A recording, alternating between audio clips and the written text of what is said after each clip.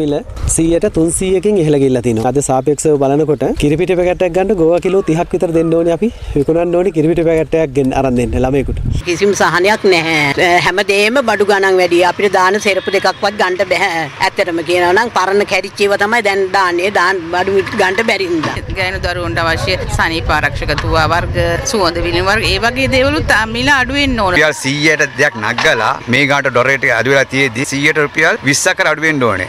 සීනි කිලෝ එක අනිවාර්ය රුපියල් 40ක් අඩු වෙන්න ඕනේ. නිකන් මේ වීඩියෝවක් කරන්නේ අවුරුද්දට කලින් මේ TC ගාන වෙලා රුපියල් 260යි. අද මේක ඇවිල්ලා 575 600යි. නැලිපන් ගෝල්ඩ් මාරේ නිදහසේ රන්දරුවෝ මෙවර අනුරාධපුරේදී. ඩොර්රයට සාපේක්ෂව රුපියල ශක්තිමත්වීමත් සමඟ අත්‍යවශ්‍ය ආහාරද්‍රව්‍ය රැසක මිලගණන් පහළ යමින් නැතැයි වෙළඳ අමාත්‍යාංශය පවසනවා. අමාත්‍ය නලින් ප්‍රනාන්දු මහතා සඳහන් කළේ එහි වාසිය කඩිනමින් ජනතාවට ලබා දීමට වෙළඳ සංගම් එකඟ වූ බවයි. වෙළඳ පොලේ ඇත්තම තත්ත්වය කුමක්ද? මේ පිළිබඳව අප කළ විමසා බැලීමක්. මම ආව ඇත්තටම මේ ජනතාව කොයි විදිහටද බඩු මිලදී ගන්නේ සිංහල අලුත් අවුරුද්දත් ළඟ ළඟ වෙනවා. ආහාර ද්‍රව්‍ය ඇතුළු අත්‍යවශ්‍ය භාණ්ඩවල මිල ගණන් වල වෙනසක් සිද්ධ වෙලා තියෙනවද කියලා දැනගන්නට ඕනේ පොල් ගෙඩිය කීයද මුදලාලි. 110 120යි සාමාන්‍ය ප්‍රමාණයේ පොල් ගෙඩියක් මේ පොල් ගෙඩිය රුපියල් 100 120යි මේ පොල් ගෙඩිය එතකොට රුපියල් 20ක 30ක වැඩිවීමක් තාමත් දකින්නට ලැබෙනවා ගිය අවුරුද්දට සාපේක්ෂව. සුදු හාල්. කොයි විදිහටද සුදු මම හිතන්නේ ගිය අවුරුද්ද රුපියල් 163ට වගේ තිබ්බේ නේද? දැන් 185ට 90ට යනවා මිස්. කොහොම රුපියල් 60ක විතර වෙනසක් තියෙනවානේ. සාපේක්ෂව ගිය අවුරුද්දට වඩා. ඒතර පරිප්පු කිලෝවක් ගිය අවුරුද්දේ රුපියල් 331ට වගේ තිබ්බේ නේද ඔව්. අපි පරිප්පු කිලෝවක් ගිය අවුරුද්දේ රුපියල් 169ට විතර ගත්තේ. දැන් බැලුවට පස්සේ රුපියල් 110ක විතර වෙනසක්. පරිප්පු අපි පරිප්පු කිලෝවක් ගන්න ගියොත් ඇත්තටම රුපියල් 110ක් වැඩිපුර යන්න ඕන කොහොමද මේ කහකුඩු එහෙම මුදලාලි කහකුඩු සාමාන්‍ය තියෙන සාමාන්‍ය රට්ටමේ යන එක රුපියල් 200ක් තියෙනවා එතකොට කහකුඩු වල ගිය අවුරුද්දට සාපේක්ෂව මේ අවුරුද්දේ අපි කොච්චර කහ වලින් සම්පෝෂිත වුණත් මිලෙහි අඩුවක් දකින්න නැහැ. මිලෙහි වැඩිවීමක් ඒ කියන්නේ සාමාන්‍ය මට්ටමක් එකම විදිහ තමයි අපිට දකින්න ලැබෙන්නේ.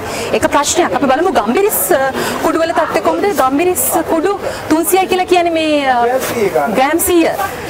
හැබැයි ගිය අවුරුද්දේ ග්‍රෑම් 100ක් රුපියල් 85ට විතර තිබ්බනේ. දැන් 1200ක් වුණා කියන්නේ මිරිස් ගණන් ගිහිල්ලා නේද 1100කින් විතර. 1100ක වෙනසක් කියන ටිකක් මිල ගිහිල්ලා. රටාල කීයක් වෙනවද කිලෝව? 160යි. 160යි. ලංකාල? ලංකාල 240යි. ලුණුත් අපි අර්ථාපල් ගත්තාමත් ගණන් වල යම් කිසි අඩුවීමක් තමයි තියෙන්නේ වැඩිවීමක් නෙමෙයි අපි බලමු එළවලු මාළු මිරිස් කිලෝවක් 600යි. දැන් මාළු මිරිස් ගණන් අඩු වෙලා. දැන් ටිකක් කිලෝලු අඩු වෙලා තියෙනවා. ඔක්කොම ගණන් අඩු වෙලා. හේතුව මොකක්ද? අපි බලමු කොහොමද කියලා මේ මස් මාළු මිල ගණන් වල තත්ත්වය කුකුල් මස් කීයද කිලෝව? 1240යි කිලෝව. කුකුල් මස් මිල තවමත් හරි ඉහළයි. මම දැන් කුකුල් මස් ටිකක් මිලට ගන්න ගියා. කුකුල් මස් මිල ඉතාම ඉතාම වැඩි. දැන් මුදලාලි කියන්නේ මාළු මිලත් වැඩි කියලානේ. අනිත් එක අඩුම එක මොකද්ද? අඩුම සාලය 500 300 වුණා. සාලය 300 මොන හොද්ද හදන්නත් ලුණු ඕනනේ.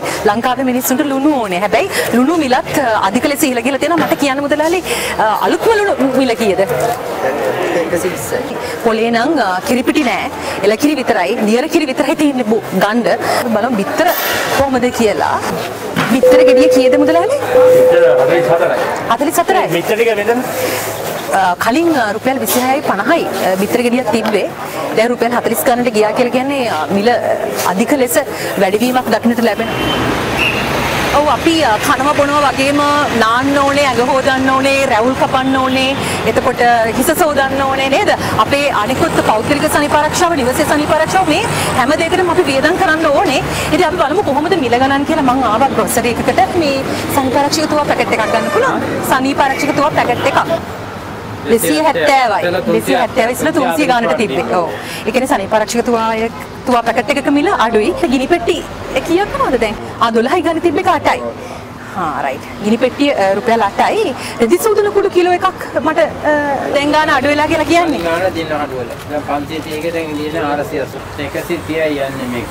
හා කලින් කිරි තිබුණේ. කලින් 150ට තිබුණේ. ආ ඒ කියන්නේ අඩුයිනේ හා මේ සමන් 100යි ආ දැන් ඒ කියන්නේ සබන් කැටවල ප්‍රමාණය කුඩා කරලා තියෙන ආකාරයක් අපිට පේනවා. ඔව් අඩු කරලා තියෙන ප්‍රමාණය අඩු. සාමාන්‍ය 150 වගේ තිබුණේ. දැන් මේ ප්‍රමාණය අඩු කරලා දැන් 100 100ට යන්නේ. දත් බෙහෙත් කොහොමද? දත් බෙහෙත් ලොකු. දත් බේත් එක නම් අතන තියෙන්නේ.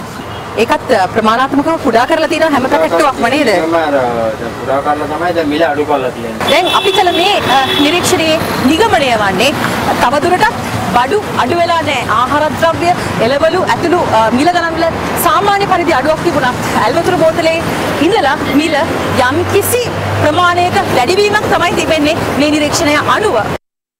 කොළඹ වගේම කොළඹින් බැහැර ප්‍රදේශවල තත්ත්වයක් අප විමසා බැලුවා. අපිට කිසිම සහනයක් නැහැ. හැමදේම බඩු ගණන් වැඩි. අපිට දාන සෙරපු දෙකක්වත් ගන්න බෑ.